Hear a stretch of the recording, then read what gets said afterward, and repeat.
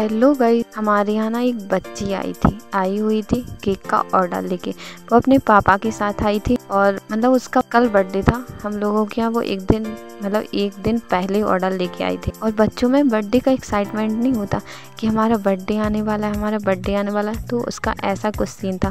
क्योंकि भैया बोल रहे थे, घर में मतलब इतना शोर मचाया हुआ था ना उसने कि मेरा बर्थडे आने वाला, मेरा बर्थडे आने वाला तो बोली, बोल रही थी कि, पापा, आप ना केक का ऑर्डर लेके चलो। तो भैया बोल रहे थे यार वो तो बन जाएगा बट उसे लग रहा था कि नहीं। मतलब केक का ऑर्डर एक दिन पहले ही दे गया हो आप।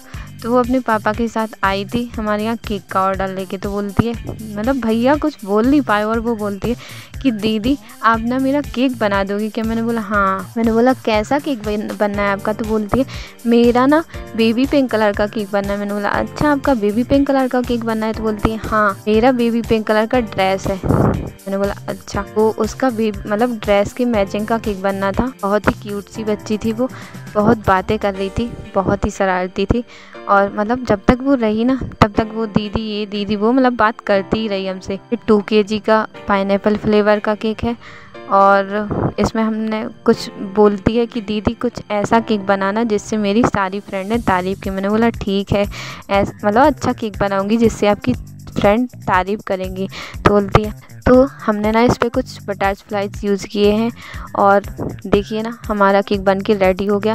फाइनल लुक देखिए कि कैसा लग रहा है हमारा केक कैसा लगता है। तो प्लीज़ इसे लाइक शेयर सब्सक्राइब ज़रूर कीजिएगा।